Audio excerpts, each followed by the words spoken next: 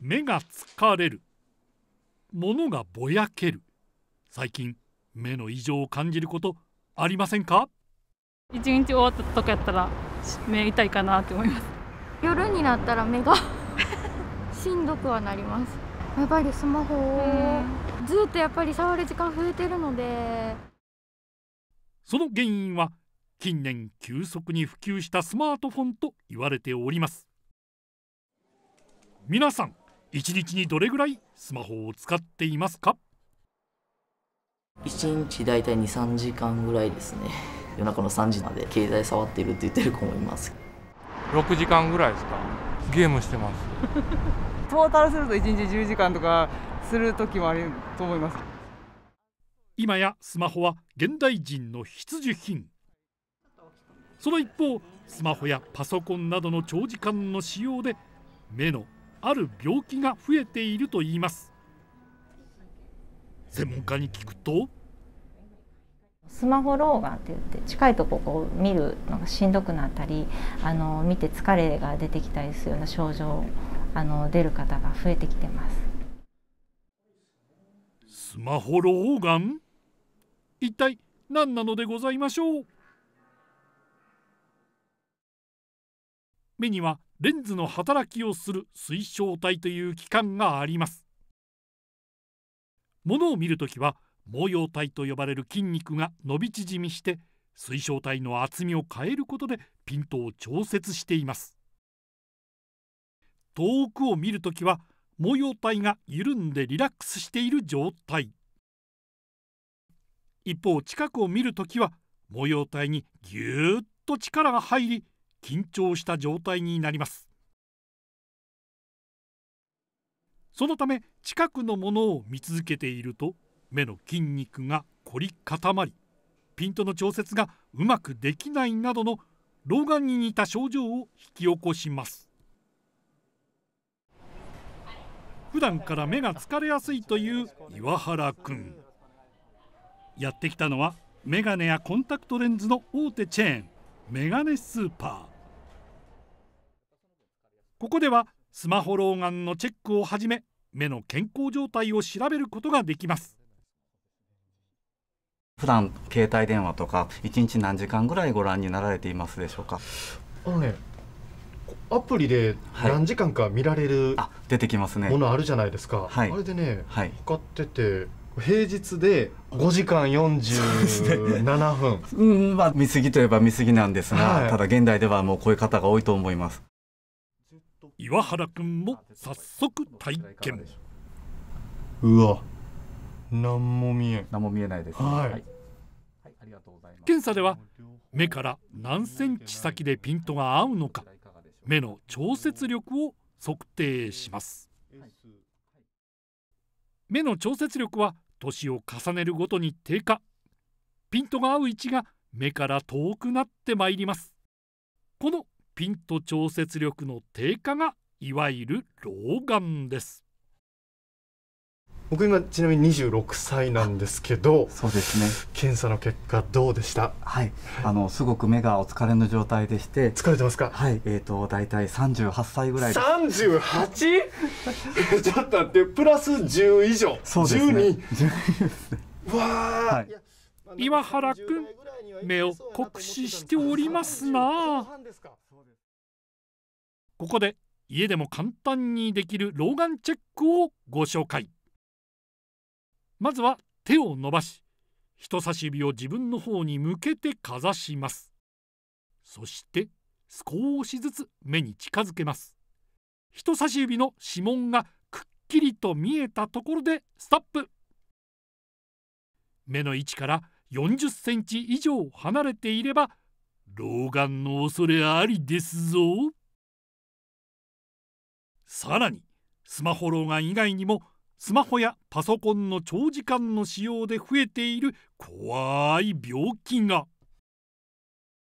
目が乾きやすくなってそのドライアイの症状が出やすくなります。まぶたにある涙腺から分泌される涙はまばたきをすることで目の表面を覆い目を守るバリアの働きをしております。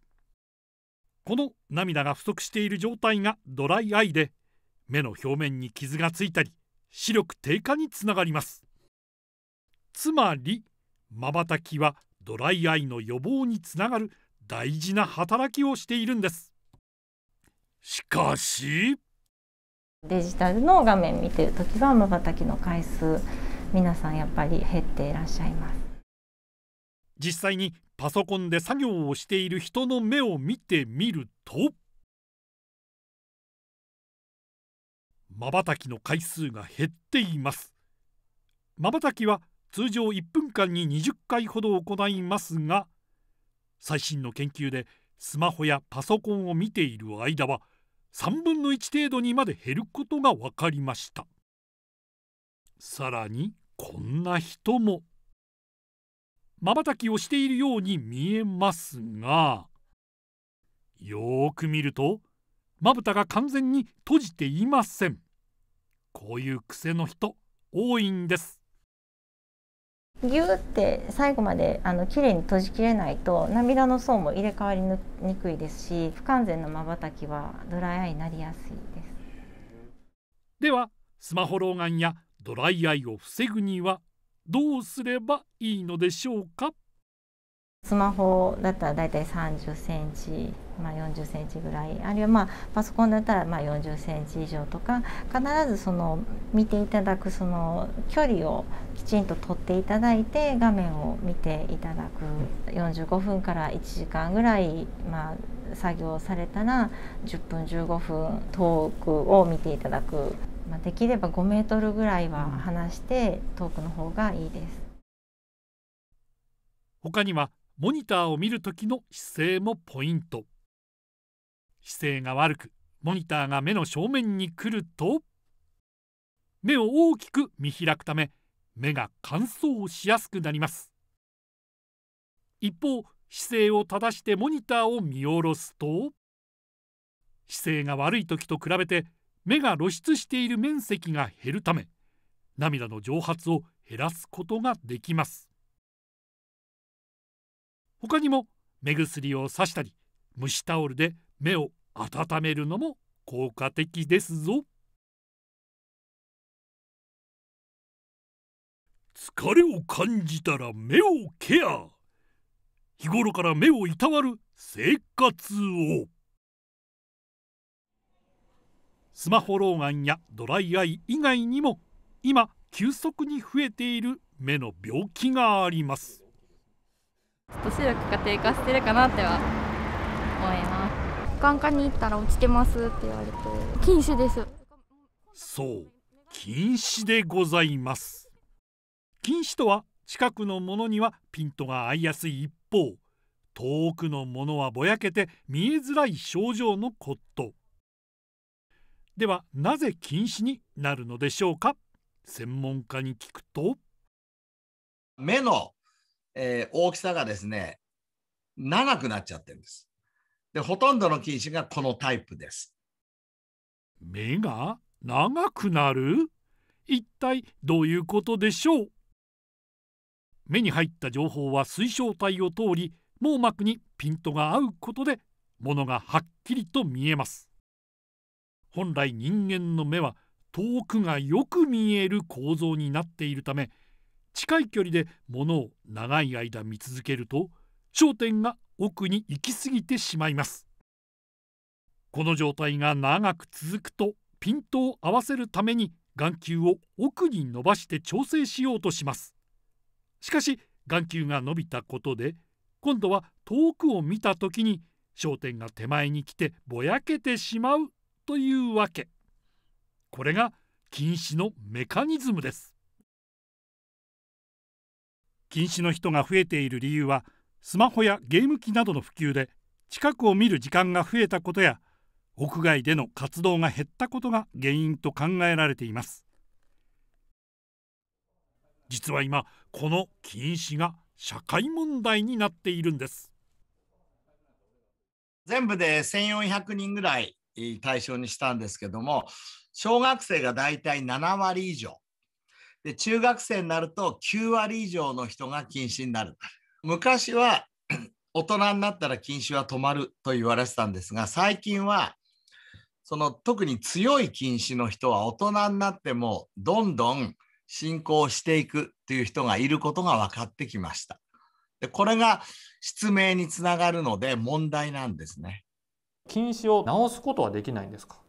まだまだ難しいと言われてます。長かったものを短くするっていうのはまだわからない。近視は子どもや若者の間で増えていて眼球は一度伸びてしまうと元には戻らない。さらに進行すると失明の危険もあるんです。では日常生活でどういった対策を取ればいいのでしょうか。小学4年生の畑大輔くんに協力してもらいます。真面目に勉強している大輔くん。ところが目と脳との距離を測ってみると。20センチです。これはダメ。机との距離が近いですよね。30センチはちゃんと距離を取って見ていただいた方がいいです勉強の後は読書タイム。うつ伏せで寝ながら本を読んでいますが。まあ、寝転がったりしてると距離感がやっぱり安定しないので過剰なそのピント調節の負担になっていることがあります。姿勢が悪いため手元が揺れピントを合わせる位置が小刻みに変わります。そのため目に大きな負担がかかるんですできればもうきちんと座って机に置いていただいて読んでいただく方がいいです。また動画を見るときは大きなモニターの方が距離が保てるためスマホではなくテレビで見ることがおすすめだそうですぞ。子どもの視力低下が進む中近視対策に取り組む自治体があります。それがメガネの産地で有名な福井県鯖江市。3年前から町ぐるみでメイクサバエプロジェクトを始めています。メガネを作るだけでなくして目を守ることで何か取り組みができないかという話にもなりまして、まあ、そうやっぱ目の健康に関することだったらやっぱり子どもの頃からやっぱこう関心を高めてもらった方がいいんじゃないかということで、えー、始めたのがきっかけでございます。小学校に行ってみると何やら歌が。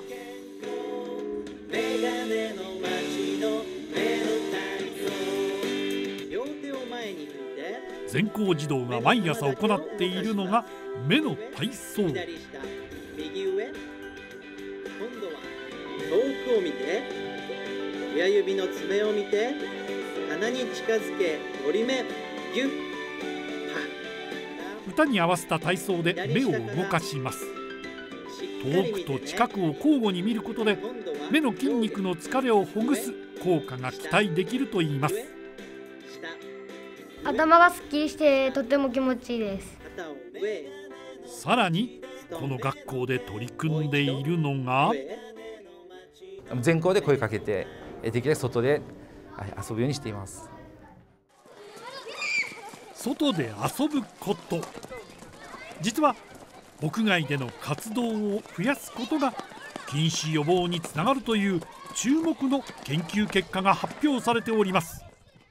何が大事かっていうと外の光を浴びるっていうことが分かってきたんですね。近視予防の鍵を握るのは太陽光。坪田教授の研究によりますと太陽光に含まれるバイオレットライトという光には眼球が伸びるのを抑える働きがあるといいます。今あの疫学研究でですねお外で最低2時間遊ばないと禁止になっちゃうって大体言われてるんですね。部屋の中にはバイオレットライトはなくて外にはたくさんあります。ですから外に行かないと禁止って予防できないんです。日本と同様に子どもの禁止が問題になっている台湾では小学生の屋外での活動を増やしたことで視力低下の割合が減少したという結果も出ているんです。